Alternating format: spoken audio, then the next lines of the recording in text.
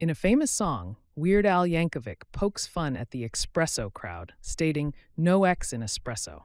We're sorry to break it to you, Al, but there is an X in espresso. At least there should be. The term espresso derives from the Italian caffè espresso, but its linguistic origins go back much further, to the Latin verb exprimo, which means to press out or to extract.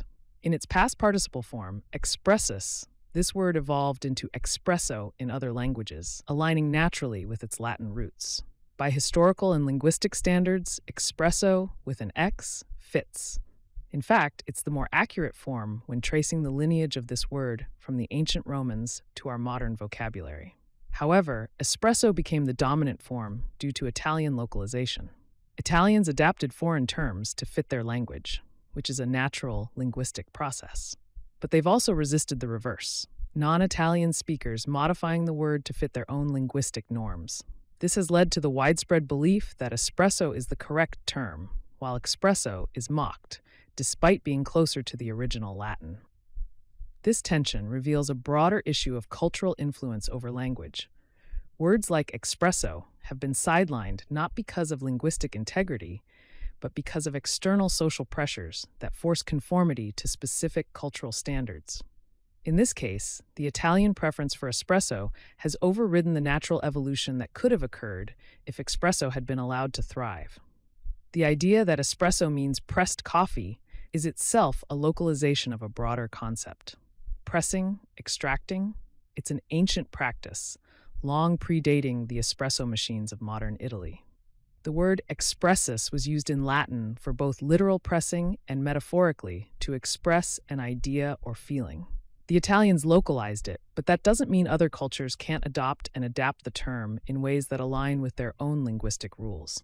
This often happens in Italy and all over the world. The Merriam Webster Dictionary suggests another possible origin, arguing that espresso could mean express coffee, implying something made quickly, on the fly.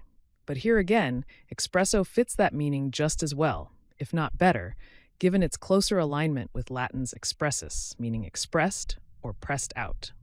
The insistence on using espresso without deviation is a form of linguistic gatekeeping one that disregards the natural flow of language adaptation. Historically, words change as they travel from culture to culture. English, in particular, has thrived on absorbing and localizing foreign terms. Yet in this case, the Italian version was socially enforced, with expresso relegated to the realm of mockery. What's especially ironic is that other Latin based words have evolved more naturally in English. We have express, expression, expressive, all derived from the same Latin root, exprimere. And yet, when it comes to our coffee, we resist expresso. The Italians certainly don't hesitate to adapt foreign words. Consider how exprimere became esprimere, and expressive became espressivo in Italian. But when non Italians adopt and modify espresso, suddenly the rules change. This linguistic double standard doesn't just highlight an inconsistency in how we handle borrowed words, it stifles the organic evolution of language. We've seen expresso lose ground not because of linguistic clarity, but due to external social pressures that prioritize conformity over adaptation.